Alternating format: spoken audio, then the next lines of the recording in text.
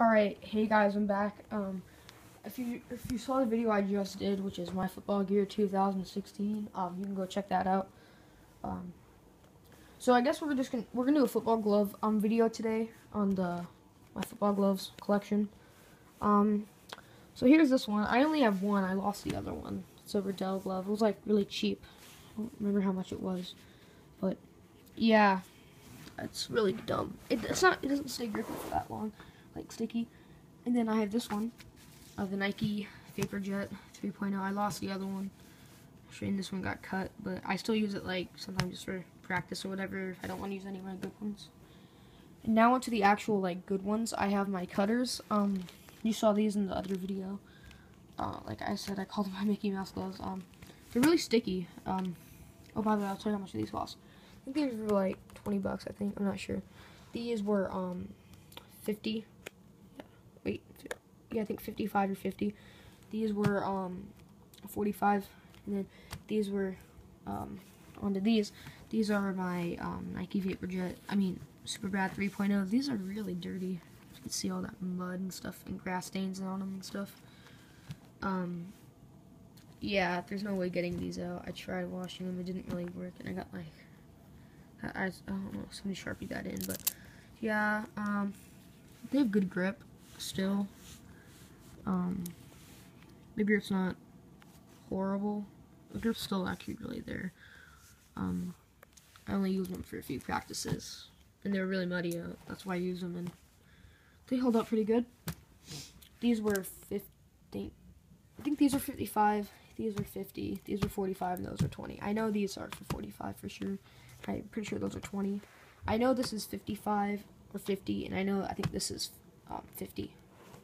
Or, know what? Okay, 50 and I think 55. And then we have these um, VaporJet um, 2.0s, which are really still sticky.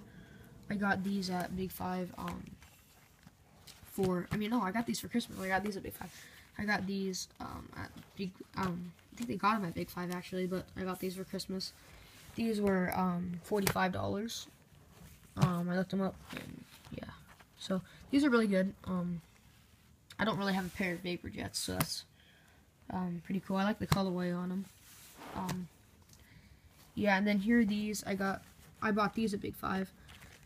These are just um, these like NFL equipment Reebok gloves. They're not very good, but you know they're they, they said lineman linebacker. I was expecting no grip at all, but um, they're really padded. They're you can't really move like your hands in them really that well.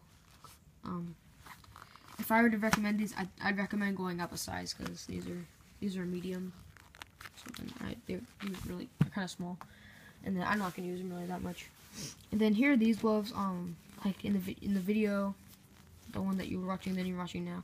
Why don't you, you might be saying, well, why don't you use these? Um, to be honest, they just they're sick. Um, really cool. I probably am gonna use them. I'm probably gonna change out these and those.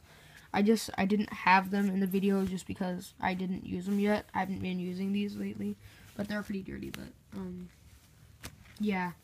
So, Under Armour Highlight gloves. These are, like, really sick. Um, yeah, so that's pretty much it on the gloves. Um,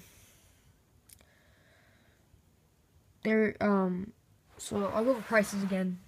20, 55, 45, 50, 45, I think these were like 39 and then these were 39 as well. They were on sale at Dick's Sporting Goods.